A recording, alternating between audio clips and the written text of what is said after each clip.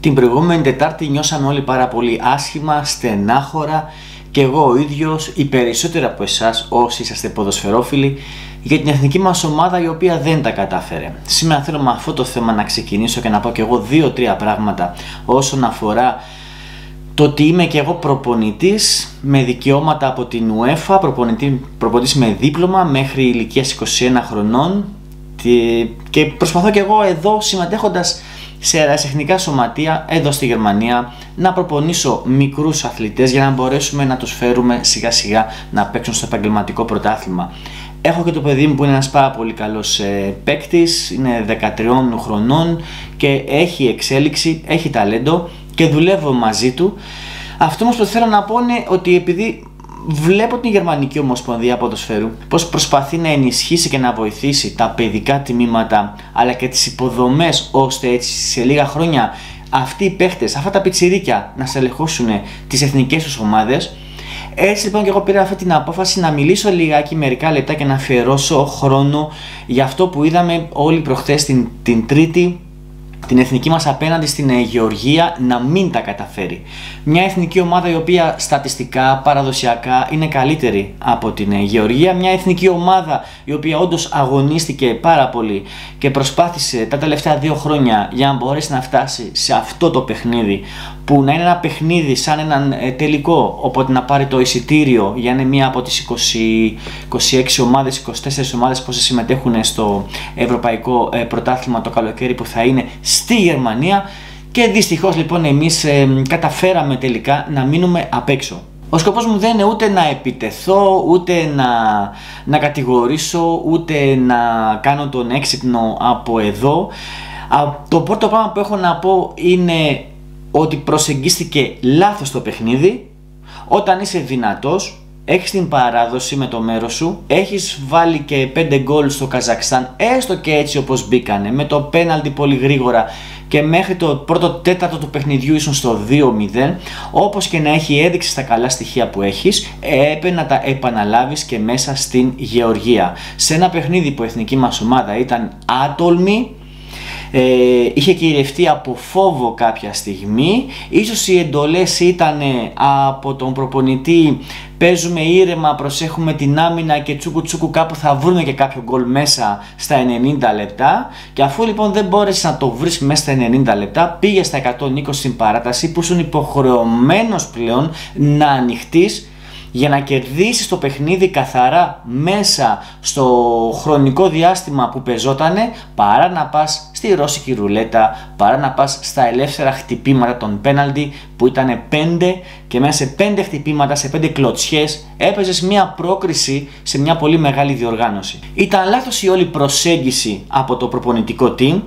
και όταν μια ομάδα σε κάποιο σημείο του αγώνα έχει το momentum και αρχίζεις και μυρίζεις, να το πω έτσι, μυρίζεις, έτσι, οσφρίζεσαι ότι αργά ή γρήγορα θα μπει το γκολ, εκεί πρέπει να πιέσεις για να μπορέσεις να το πετύχεις. Και όχι να κάνεις φοβισμένες επιθέσεις όπως φάνηκε στην παράταση που είχαμε και το δοκάρι στο πρώτο μήχρονο της παράτασης που όλοι λέγαμε τώρα θα μπει, τώρα θα μπει το γκολ και όμως ήταν άνευρη εθνική ομάδα, άτολμη εθνική ομάδα και το πλήρωσε. Τις ευθύνες έχει το προπονητικό team που αποφάσισε την τακτική που θα ακολουθήσουν οι παίχτες στο παιχνίδι και βέβαια από την άλλη μεριά και οι ίδιοι οι παίκτες που μείναν τόσο πιστοί στο πλάνο του προπονητή, προσέχουμε την άμυνα. Παιδιά, καλή και η άμυνα, αλλά άμα δεν βάλεις την μπάλα στο πλεκτό, δεν μπορείς να κερδίσεις ούτε μια ομάδα ερασιτεχνικής κατηγορίας. Η ποιότητα των παικτών αλλά και η όλη δουλειά που έχει γίνει πρέπει να φανεί σε ένα τέτοιο παιχνίδι. Δεν παίζεις τελικό παγκόσμιο κυπέλου. Δεν έπαιζες έναν τελικό να το πω ε, με, με, με κάποια ομάδα που ήταν κάποιο τρόπεο. Ήταν ένα εισιτήριο μιας μεγάλης διοργάνωσης, τίποτα περισσότερο, τίποτα λιγότερο. Αλλά λοιπόν και από θέμα τακτικής αλλά και από θέμα παικτών δεν στάθηκε κανένας στο ύψος των περιστάσεων. Δυστυχώς δεν έχουμε έναν παίκτη ή δύο παίκτες οι οποίοι θα πάρουν κάποιες πρωτοβουλίες ατομικές πάνω στο παιχνίδι. Όπως ο Κωνσταντέλιας ο οποίος προσπάθησε να πάρει επάνω του κάποιες καταστάσεις και μπράβο στο πιτσιρίκι, μπράβο στο παλικάρι, είναι πόσο είναι 22 χρονών, 21 χρονών είναι, είναι μικρότερος, θα σας γελάσω, αλλά μπράβο στο παιδί που φάνηκε να θέλει, να το ζητάει περισσότερο. Λείψαν οι ατομικές προσπάθειες και είναι πολύ σημαντικό στο ποδόσφαιρο η ατομική προσπάθεια. Δείχνει και την ποιότητά σου, δείχνει και την αποφασιστικότητά σου και γενικά μπορείς να τραβήξεις και τους άλλους να βασιστούν πάνω σου δηλαδή και να ακολουθήσουν. Δεν έχουμε αποδητήρια, δεν έχουμε ψυχολογία, δεν έχουμε ομοσπονδία, έτσι πάμε και στα υπόλοιπα σιγά σιγά. Δεν κατηγορώ τους παίκτες μας, αυτοί είναι όπως λένε αυτές τις αγελάδες έχουμε, αυτό το γάλα κάνουμε. Η εθνική ομάδα έχει τις φοβίες, έχει ανασφάλειες. Ε, προχθές ήμουνα με το παιδί μου στο γήπεδο και κάναμε μια ατομική προπόνηση και όπως ήμασταν στο κέντρο του γηπέδου, του είπα: Κοίταξε, λέω, κοίταξε τον χώρο, κοίταξε τις αποστάσεις δεξιά και αριστερά. Και φαντάσου τώρα ότι εσύ είσαι εσύ σε ένα παιχνίδι και διακυβεύονται κάποια πράγματα. Ένα εισιτήριο ευρωπαϊκό, σε ένα παγκόσμιο πρωτάθλημα ή ξέρω εγώ μια πρόκριση ή οτιδήποτε άλλο. Δεν μπαίνεις μέσα να το καθαρίσει το παιχνίδι. Δεν μπαίνεις μέσα να δεις τον χώρο, να αντιληφθείς την ατμόσφαιρα. Γιατί τα υπόλοιπα είναι λόγια απλά για, το, για την πατρίδα και για την Ελλάδα και, και για το, το γαμότο για την Ελλάδα που είπε η Πατουλίδου τότε το 92 στους Ολυμπιακούς της Βαρκελόνης, το είπε αφού πήρε το χρυσό μετάλλιο. Άρα λοιπόν τελειώνει το παιχνίδι, το κερδίζεις και μετά μιλάς. Ε, πρέπει να μπεις μέσα αποφασιστικά και να πάρεις ένα παιχνίδι. Ό,τι άθλημα και να είναι μπάσκετ, βόλεϊ, πόλο, ποδόσφαιρο, ό,τι και να είναι ομαδικό άθλημα. Το ατομικό λειτουργεί διαφορετικά. Όπως είναι ο στίβος, το τέννη ή κάποια άλλα ε, αθλήματα, άρση βαρών πάλι κτλ. Εμείς όμως δεν το κάναμε. Δεν μπήκαμε μέσα. Δηλαδή, πολλές φορές λέω ότι η ποιότητα των παικτών δεν φαίνεται μονάχα μέσα στο γήπεδο, φαίνεται και έξω από το γήπεδο. Το πώς δουλεύεις, το πώς λειτουργείς. Δεν μπορεί εγώ να μιλάω με το γιο μου και να, και να κάθεται ο γιος μου να επαναλαμβάνει πέναλτι, φάουλ έξω από την περιοχή. Είναι 13 χρονών είναι να χτυπάει πέναλτι, να χτυπάει κόρνερ, να χτυπάει φάουλ έξω από την περιοχή. Από τα 13 μαθαίνει να εκτελεί φάουλ πάνω από το τείχος, να κάνει βαθιά μπαλιά προς τα δεξιά ή προς τα αριστερά, ανάλογα τη θέση που έχει μέσα στο γήπεδο. Δεν είναι δυνατόν ένας 13χρονο να πηγαίνει και μόνος του να προπονείται, κάνοντας σουτ, μεταβιβάσεις και να προσπαθεί να δουλέψει και να εξελιχθεί. Αλλά το δικό μου το παιδί δεν έχει ούτε PlayStation. Εγώ, δική μου απόφαση, των γονιών απόφαση να μην έχει PlayStation, να μην έχει κινητό έτσι χωρίς κάποιον ε, ε, περιορισμό ή να τον αφήνω μόνο του.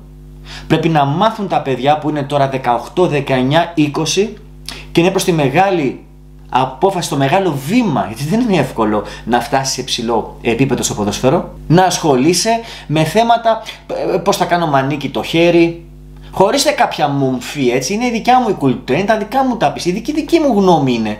Από ανατολίζεσαι με το Α, κοίταξε τι ωραίο τατουάζ έκανα εδώ. Α, κοίταξε η, η φιλενάδα. Α, κοίταξε ξέρω εγώ το ένα. Δεν έχω τώρα όρεξη. Τώρα μου τη βάρες έτσι, τώρα μου τη βάρες αλλιώς. Προσέξτε, είναι, είναι επειδή και εγώ ήμουν παιδί και μεγάλωσα. Και όλα αυτά με βοήθησαν στον αθλητισμό. Εμείς δεν είχαμε τότε ούτε PlayStation, ούτε είχαμε τηλεοράσεις, ούτε είχαμε κινητά, ούτε social media, ούτε τίποτα από όλο αυτό που γίνεται τώρα. Ο μόνος μας σκοπός ήταν η μπάλα. Ήταν το ποδόσφαιρο. Και μετά ο στίβος, γιατί έχω κάνει και στίβο.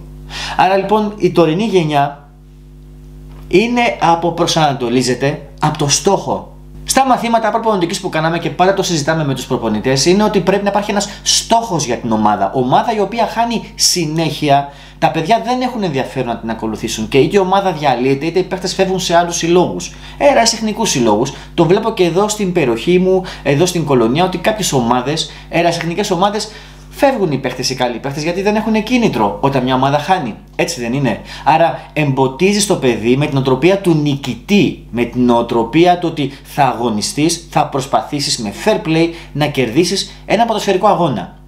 Η Γερμανική λοιπόν Ομοσπονδία προσπαθεί να βοηθήσει τους προπονητές, προσπαθεί και ακολουθεί κάποια προγράμματα έτσι ώστε να μπορέσει να βγάλει την επόμενη γενιά που θα στελεχώσει όχι μόνο ε, τις ποδοσφαιρικές ομάδες της Bundesliga αλλά και, της εθνική, και την εθνική τους ομάδα η οποία κέρδισε τη Γαλλία προχθές 2-0 και τώρα γράφουν οι γερμανικές εφημερίδες ότι η ομάδα είναι ε, σε, στον σωστό δρόμο για να ξαναανέβει γιατί ήδη γνωρίζουν ότι έχουν πολλά προβλήματα ως εθνική ομάδα, δεν πηγαίνουν καλά τα τελευταία χρόνια. Πολλές φορές με ρωτάνε, Ρε Σωτήρη, το δικό σου παιδί θα παίξει στην εθνική ομάδα της Ελλάδας ή στην εθνική ομάδα της Γερμανίας; Θα σας το πω καθαρά ποδοσφαιρικά. Εάν καταφέρει ο μικρός να φτάσει σε τέτοιο επίπεδο, εγώ θα προτιμούσα να παίξει με την εθνική ομάδα της Γερμανίας. Γιατί; Να ζήσει μεγάλες στιγμές, να ζήσει οργάνωση, να, να ζήσει όλο αυτό ε, που προσπαθούν να περάσουν οι Γερμανοί στο δικό τους το ποδόσφαιρο, νοτροπία νικητή, παίζουμε το πλάνο μας, ατομική πρωτοβουλία, αυτονόητο είναι, control, ε, εξέλιξη, καλή και τα manager ηλικία, αλλά η εθνική ομάδα είναι πάνω απ' όλα. Στην εθνική ομάδα της Γερμανίας, από τις μικρές ηλικίες των 15 χρονών, ε, δεν υπάρχει αυτό το, ε, πώς το λένε, ο γνωστός του γνωστού, ο έτσι, ο αλλιώς ή όπως στην Ελλάδα η, η, η ΕΠΣΑ, ΕΠΣΑ νομίζω είναι η, η, τα ερασιτεχνικά σωματεία που ψηφίζουν τον εκάστοτε πρόεδρο και βέβαια από ό,τι μαθαίνω και διαβάζω και ξέρω και από φίλους προπονητές στην Ελλάδα ότι υπάρχει ένα αλυσβερής οικονομικό για να ψηφίζουν αυτές οι, τα ερασιτεχνικά σωματεία, οι ερασιτεχνικές ομοσπονδίες να ψηφίζουν τον πρόεδρο της, ε, της ΕΠΟ με εδώ στη Γερμανία φίλες και φίλοι, όλη η εθνική ομάδα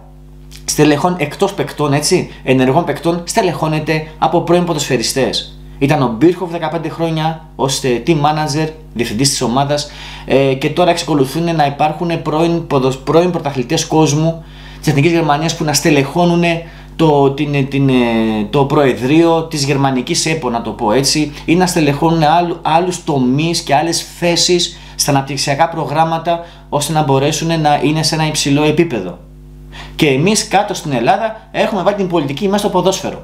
Και να πάει ένας καλός παίχτη, ένας καλός παίχτη που είναι τώρα 16, 18 και 20 χρονών, να παίξει στην εθνική μας ομάδα, ζει στο εξωτερικό, έμαθε μπάλα στο εξωτερικό. Ωραία, γιατί να επιλέξει την εθνική ομάδα, ρωτάω τώρα. Περνάνε τα λεπτά της εκπομπής, είναι ένα θέμα το οποίο ήθελα να το πω, γιατί με προβληματίζει και λέω, λες σε 2-3 χρόνια ο δικός μου μικρό να φτάσει σε ένα τέτοιο επίπεδο ε, στα 15-16 και να υπάρχει θέμα σε ποια εθνική ομάδα θα παίξει; Για πείτε μου και στη γνώμη σας, σε ποια εθνική ομάδα να παίξει; Για πετε μου, σε μια πολιτικοποιημένη εθνική ομάδα που είναι γεμάτος μάνατζερ. Και θα τελειώσω λοιπόν, θα τελειώσω με το γεγονός ότι όταν ο Ρεχάγκελ ήρθε στην εθνική ομάδα, έκανε δύο ήττες. Και μάλιστα μια ήταν με πεντάρα από τη Φιλανδία. Μόλις κατάλαβε τι ακριβώς παίζεται, πήρε τις αποφάσεις του. Έχει τιμωρήσει γιατί οι παίχτε που δεν παίζανε, Ζήκος, Γεωργάτος ε, και, ε, και ποιος άλλος, ε, δεν θυμάμαι τώρα, είχαν κάνει πειθαρχικά παραπτώματα. Ο Γερμανός αυτά δεν τα, δεν τα δικαιολογούσε, τέρμα τελείωσε, φεύγεις. Είχε το δικό του πρόγραμμα, είχε τη δική του φιλοσοφία. Μπήκε μέσα από διτήρα, τους μίλαγε για ε, 12 θεούς του Ολύμπου και για αρχαία ελληνική ιστορία. Και οι άλλοι χασκογελάγανε, τα είχε πει ο Δέλλα, ε, νομίζω, σε μια συνέντευξη και κοιτάζαμε ο ένας τον άλλον και χασκογελάγαμε. Μετά από δύο χρόνια όμω έκανε πρωταθλητέ της Ευρώπης. Όπως και να έχει. Και τακτικά μια χαρά το έπαιξε το παιχνίδι. Και με το λίμπερό του πίσω μια χαρά, πανέξυπνα. Τους το έκλεψε και ακόμα σκέφτονται με τι πονηριά έπαιξε ο Γερμανός εκείνα τα παιχνίδια στο Euro. Άλλη κουβέντα όμως είναι αυτό. Ναι, αλλά βλέπετε, η ομάδα πέταγε ε, με, το, με δικό της, ε, να το πω έτσι, με, δε, έφευγε μόνη της. Μόνο ο Ρεχάγκελ ήταν αρχηγός της ομάδας, κανένας άλλος. Τέλος. Ούτε μάνατζερ, η ΕΠΟ πήγαινε με άλλο αεροπλάνο και κοιμόντουσαν όλοι οι συγγενείς και οι παράγοντες σε άλλο ξενοδοχείο. Η εθνική ομάδα είχε το στόχο της. Ακριβώς μια νοοτροπία που δεν υπάρχει τώρα, καθότι όλοι οι παρατρεχάμενοι εκεί να πάνε να γλύψουν την ΕΠΟ. Τα έζησα λιγάκι πριν από πάρα πολλά χρόνια. Λοιπόν, φίλες και φίλοι, άμα δεν αλλάξει αυτό, δεν θα αλλάξει η εθνική ομάδα. Και όχι μόνο η εθνική ομάδα, κανένα κομμάτι της ελληνικής κοινωνίας. Γιατί η ελληνική κοινωνία, η χώρα μας, η Ελλάδα, όχι ως Ελλάδα, Ελλάδα, ως ιστορία και ως έθνος, αλλά ως κοινωνία, κυβέρνηση, πολίτες, σύστημα, έτσι που ζούμε τώρα, έχει τα κακά της στα χάλια. Ε, και η εθνική ομάδα αντικατοπτρίζει ακριβώς το ίδιο πράγμα.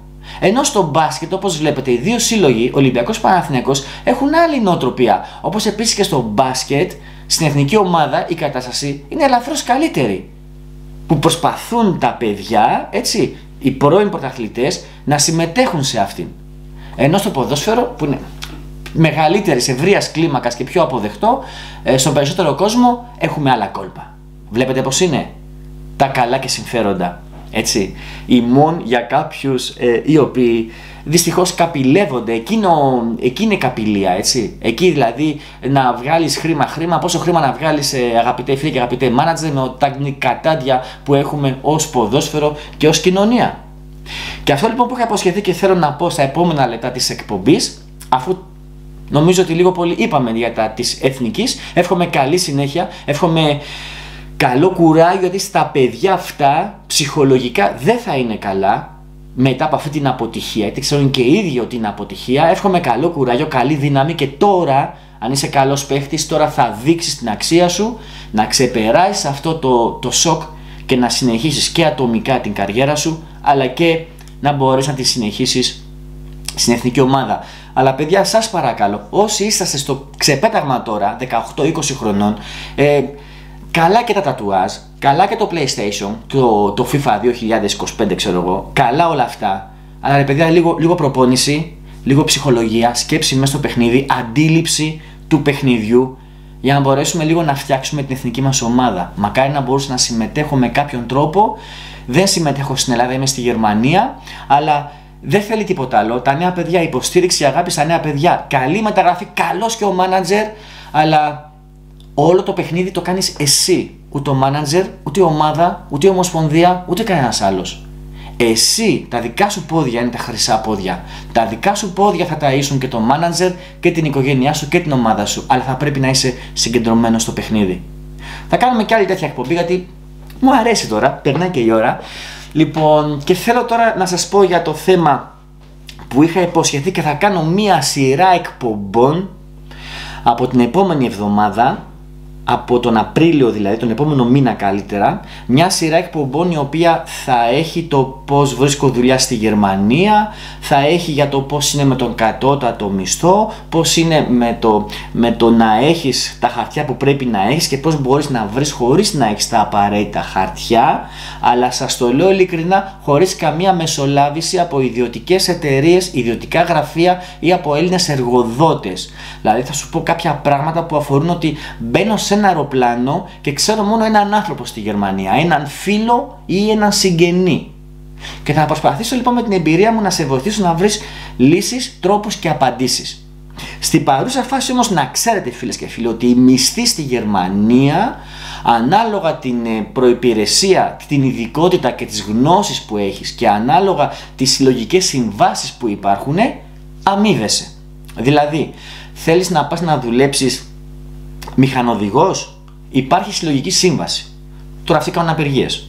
Ε, θες να πας να δουλέψεις ε, ως χημικός, θες να πας να δουλέψεις ως πολιτής, καυμένησε, ως manager σε μια μεγάλη εταιρεία, σε μια μικρότερη εταιρεία, στο κλάδο του marketing, του ίντερνετ, θες να πας να δουλέψεις ε, στην εστίαση, θες να πας να δουλέψεις σε, σε επιχειρήσεις που είναι ε, για υδραυλικά, για πλακάκια, για ηλεκτρολογικά, έτσι. Λοιπόν, η κάθε μία από αυτές έχει τη δική της λογική σύμβαση και ανάλογα την προπηρεσία, όπως είπα, πληρώνεσαι.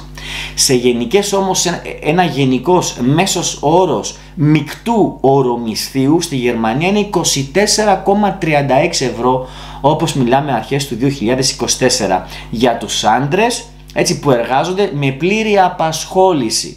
Και για τις γυναίκες, δεν ξέρω για ποιο λόγο οι γυναίκες είναι λίγο χαμηλότερες, ε, δεν ξέρω τι κριτήρια υπάρχουν και δεν είναι επί του παρόντος να το μιλήσουμε τώρα, αμείβονται με 20,5 ευρώ στο ορομίσθιο μεικτά. Τώρα το κάθε κρατήδιο έχει τις δικές του ίδιο, να το πω έτσι, ιδιορυθμίες, τις, τα, τα δικά του συστήματα. Δηλαδή ε, ένας εργαζόμενος στο Αμβούργο κερδίζει πολύ περισσότερα από το μέσο όρο με κάποιον που είναι στην Θουριγκία στο Turing. Ωραία. Ε, κερδίζει περισσότερα. Ε, ανάλογα το κρατήδιο λοιπόν και ανάλογα τους νόμους ανά κρατήδιο μπορεί να έχεις λίγο παραπάνω από το μέσο όρο ή λίγο λιγότερο από το μέσο όρο. Ο κατώτατος μισθός στη Γερμανία ο συνήθως συνδέεται με, το, ε, με, με την ώρα. Ε, δηλαδή ο νόμος καθορίζει έτσι, ότι τη μία ώρα εργασίας την αμείβεσαι 12,41 ευρώ. Από το 2024 ξεκίνησε αυτό,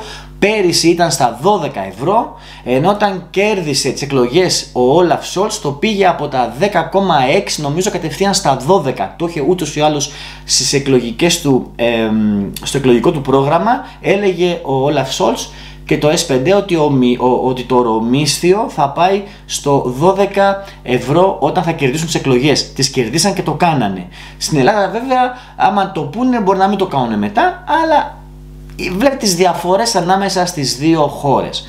12 και 41 λοιπόν είναι το κατώτατο ορομίσθιο που εκεί πέρα μέσα είναι καθαρίστριες, καθαριστής, ανειδίκευτος, εργάτης, αποθηκάριος, ξέρω εγώ, δηλαδή ε, κουβαλητής, είναι αυτές οι δουλειές όπως και κάποιες άλλες ανάλογα με, το, ε, με τη συλλογική σύμβαση. Για να έχεις όμως πρόσβαση σε συλλογικές συμβάσεις, για να δικαιούσε τα 12 και 41 ορομίσθιο, κατώτατο μισθό δηλαδή, για να μπορέσεις να κάνεις όλα αυτά πρέπει να είσαι στη Γερμανία δηλωμένος, νόμιμα, εισερχόμενος. Δηλαδή, εμείς οι Έλληνες ναι, μεν ερχόμαστε, αλλά πρέπει να κάνουμε κάτι για να ζήσουμε, γιατί εύκολα έρχεσαι, αλλά δύσκολα μένεις. Αλλά θα πρέπει να βρεις τους τρόπους και τους πόρους για να, για να σταθεί στους πρώτους μήνες χωρίς να έχεις καμία βοήθεια από συγγενείς, φίλους, γραφεία ευρέσεων εργασία στην Ελλάδα ή στη Γερμανία και να μην έχεις σχέση με τα job center, Bundesagentur, κοινωνικές πρόνοιες και όλα τα σχετικά. Οι φοιτητές οι φοιτητές και οι διάφορες άλλες κατηγορίες ε, νέων ανθρώπων είναι σε ένα άλλο καθεστώς. Εμείς μιλάμε για αυτόν ο οποίος είναι ενήλικος, εργάτης και έρχεται στη Γερμανία για κάτι καλύτερο. Όπως λέω πάρα πολλές φορές, το να έρθει στη Γερμανία έρχεσαι εύκολα. Αυτό που εδώ όμως θα αντιμετωπίσεις μπορεί να είναι βουνό και να μην τα καταφέρεις είτε για τη γλώσσα είτε γιατί ε, έχεις δυσκολίες προσαρμογής είτε γιατί είναι οι συνεργάτες είτε γιατί είναι οι φίλοι είτε γιατί είναι ο καιρός είτε γιατί είναι οτιδήποτε άλλο δεν μπορεί να ξέρω για τον καθένα πως και για μένα τον ίδιο που αντιμετώπισα δυσκολίες πως θα ήταν τα πράγματα. Δεν τα περιγράφω υπέροχα. Εσείς που ηρωνεύεστε από κάτω διαγράφεσαι και δεν ξαναβάζετε σχόλιο. Πρέπει να σταματήσουν οι ηρωνίες γιατί δεν είμαστε όλοι manager δεν είμαστε όλοι μεγάλο στελέχη, να έρχεσαι δηλαδή να δουλεύεις σε μια μεγάλη γερμανική εταιρεία στην Ελλάδα και να σε στέλνουν ε, είτε γιατί στο ζήτησες, είτε γιατί έγινε κάποια απόσπαση, είτε οτιδήποτε άλλο, να σε στέλνουν στην Γερμανία να εργαστείς και να λες Α, εγώ παίρνω 60.000 ευρώ μισθό. Βεβαίως, ο μέσος όρος μισθών στη Γερμανία ο μέσος όρος είναι από 43 μέχρι 56.000 ευρώ. Υπάρχουν γιατροί οι οποίοι κερδίζουν και 90.000 ευρώ το χρόνο και υπάρχουν κάποιοι άλλοι κλάδοι όπως ένας καθαριστής ή ένας λατζέρι σε μια λάτζα που θα πλένει πιάτα που θα κερδίζει εκεί πέρα οριακά τα 20 με 24.000 ευρώ το χρόνο.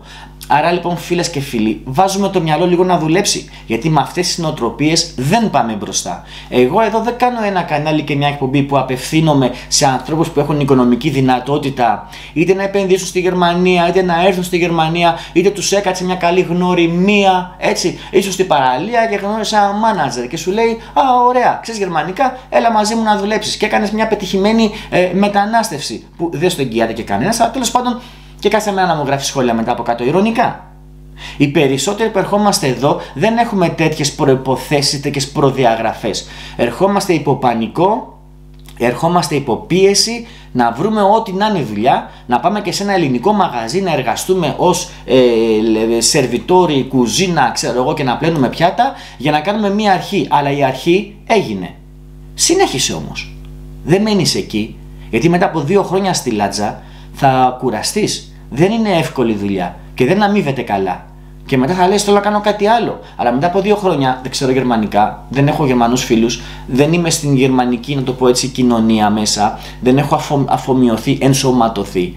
Και μετά λες, Α, τελικά δεν πήγαν όλα καλά. Ε, Πώς δεν πήγαν όλα καλά; Έκανες ένα δύσκολο ξεκίνημα, αλλά εξελίχθηκες. Έμαθες τη γλώσσα, έκανες γνωριμίες, ε, κοινωνικοποιήθηκες σε κάποιους συλλόγους, σε κάποια άλλα θέματα. Ε, κούνησες λίγο την ουρά σου, να το πω έτσι. Τα χεράκια σου. Ή μόνο περιμένω με τον καλό τον Θεό επειδή κάνω λάτζα ή επειδή δουλεύω χαμάλης ή επειδή είμαι σε μια αποθήκη ή επειδή ε, κουβαλάω, ξέρω εγώ, ε, κάνω σε μια εταιρεία μετακομίσεις και κουβαλάω κάθε μέρα πλυντήρια, θα μου στείλει ο καλός ο Θεός το Τζόκερ ή θα μου στείλει ο καλός Θεός κάτι.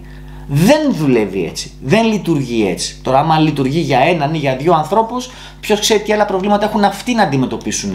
Εδώ το κανάλι είναι περισσότερο για ανθρώπους οι οποίοι θέλουν να σκεφτούν, να αγωνιστούν και να προσπαθήσουν. Αν είσαι φτιαγμένος, το έχω πει και άλλη φορά, μην έρχεσαι σε αυτό το καναλάκι, πήγαινε κάπου αλλού. Υπάρχουν και άλλα κανάλια. Εδώ, άμα θέλεις να μείνεις και να παρακολουθήσεις, θα βάλουμε το μυαλό μας να σκεφτεί, θα προσπαθήσουμε να μαζέψουμε δυνάμεις ψυχικές και πνευματικές για να ανταπεξέλθουμε στη δύσκολη καθημερινότητα. Γιατί δυσκολεύει η Γερμανία. Η Γερμανία είναι σε λιτότητα. Μην βλέπετε που λένε, μην τη βλέπετε έτσι. Έχει χρέο κοντά στα 3, στα, στα 3 τρισεκατομμύρια. Όχι 400 δις που είχε η Ελλάδα. Εμάς μας κοροϊδέψανε και οι πολιτικοί και οι Γερμανοί και οι Ευρωπαίοι. Έτσι. Λοιπόν, εδώ αυτοί έχουν 3-3 και ακόμα τους στηρίζουν. Εμάς δεν μας στήριξανε. Και δίνουμε του κόσμου τα λεφτά. Πόσα δις έχουμε εδώ στην Ουκρανία, δεν ξέρω, δεν τα μετράω. Το τελευταίο πακέτο ήταν 50 δις πάντως που αποφασίσανε. Και όμως για μας τότε το 2015, πότε 14-15, για 10 δισεκατομμύρια έγινε όλη η φασαρία και δημοψήφισμα για 10 δις έτσι και έγινε αυτό που έγινε μετά. Σκεφτόμαστε. Σκεφτόμαστε και δεν αντιδρούμε σπασμωδικά. Γινόμαστε έξυπνοι, προσπαθούμε να πάμε τα πάντα σε μία σειρά και να αξιολογήσουμε και να εκτιμήσουμε την κατάσταση. Είτε αφορά το ποδόσφαιρό μας, είτε αφορά την υπόλοιπη κοινωνία. Αλλά όπως βλέπετε είναι συγκοινωνούντα δοχεία. Δεν μπορεί κάτι που πηγαίνει καλά να μην επηρεάσει και το άλλο. Και κάτι που πάει άσχημα στο ένα να μην πάει και άσχημα και στο άλλο. Δηλαδή, τι είναι το ποδόσφαιρο, δεν είναι ένας καθρέφτης τη κοινωνίας; Τι είναι η κοινωνία μας στην Ελλάδα ή και εδώ πέρα, μην νομίζετε.